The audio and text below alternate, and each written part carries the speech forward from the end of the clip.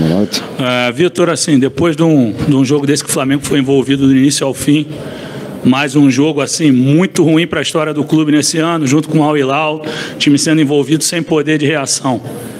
Tem clima para a continuidade do trabalho? O que, que vocês já conversaram? Como é que vocês estão vendo a sequência na temporada? Assim, falar, do, do jogo de hoje, não é?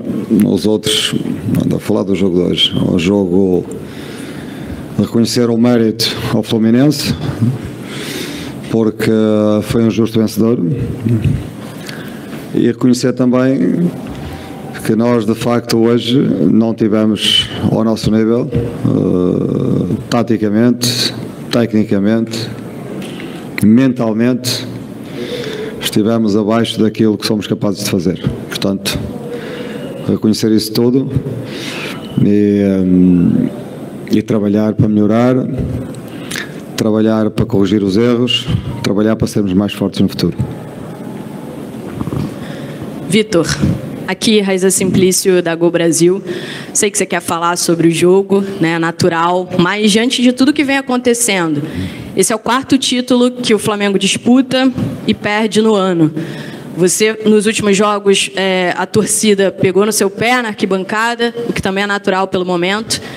Mas a torcida também quer saber como é que fica a situação do Vitor Pereira nesse momento como é que dá a, é possível realmente dar a volta por cima? Você enxerga futuro no trabalho hoje comandando o Flamengo?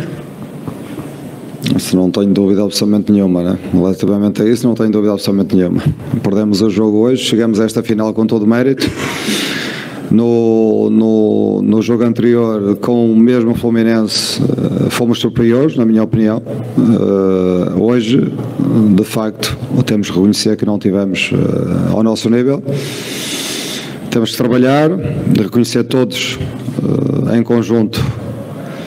Não eu, eu, em primeiro lugar, eu e os meus jogadores também, reconhecer que Hoje, ainda por, eh, por algum motivo que, não, que ainda não consegui perceber, acho que tenho que conversar com eles, temos que conversar todos.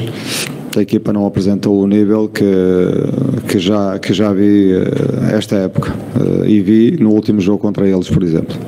Vitor, aqui atrás, Marcos Coelho, Rádio Tupi. É, nós sabemos que essa situação é muito delicada.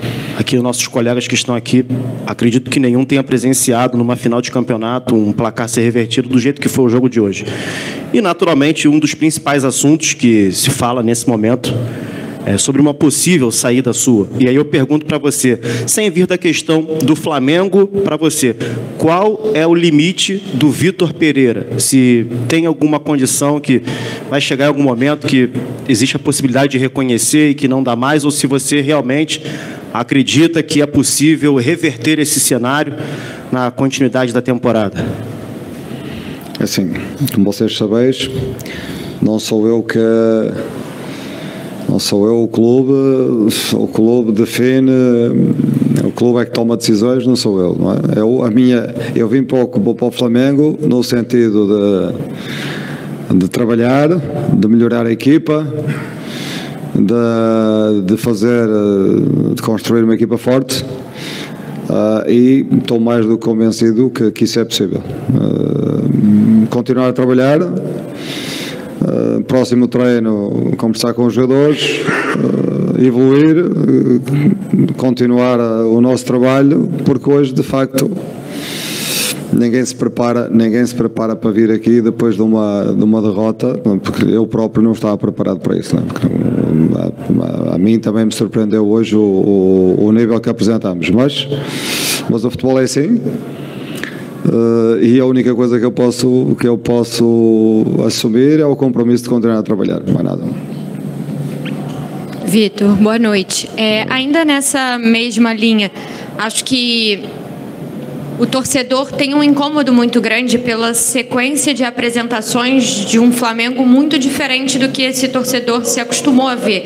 A atuação na quarta-feira pela Libertadores foi muito ruim e muitos jogadores acabaram sendo preservados. Hoje vocês tinham uma decisão, tinha altitude. Sempre tem um fator, mas a sequência de atuações ruins incomoda muito o torcedor. Você, nesse momento, consegue ter um diagnóstico do que, que é esse evoluir, o que, que dá para fazer ainda, o que, que tem de lastro para fazer ainda para que esse Flamengo volte a apresentar o que o torcedor tanto espera? Sim, nós vinhamos numa, nós vinhamos numa, antes de, do jogo no Alcas para, para a Libertadores, nós vinhamos de três, de três vitórias consecutivas, duas com o Vasco, uma com o Fluminense, eh, e vitórias eh, com mérito. No Alcas foi um jogo, eu não eu posso ouvir a opinião de toda a gente, diz que o jogo foi horrível, na minha opinião não, não foi. A primeira parte fizemos fizemos um jogo para mim de qualidade. Da segunda parte, de facto, caímos uh, e, uh, e, permitimos o, e permitimos que o Ocas uh, ganhasse o jogo. Hoje, de facto, é o jogo que vem contra em contramão, que vem é um jogo que eu não estava à espera, sinceramente, não estava à espera, estava à espera de um jogo muito mais forte da nossa parte. Uh, e eu só posso só posso reportar este jogo, portanto não quero fazer do, não quero pegar nos jogos todos, porque os jogos todos não foram assim, os jogos não foram todos assim, nós tivemos três, nós, nós ganhamos ao Fluminense de forma consistente, taticamente, mentalmente, uh, no, no último jogo que jogamos com eles. Hoje por razões que ainda temos que, que temos que, que, avaliar, temos que conversar todos, a equipa não esteve, não esteve ao, ao seu nível.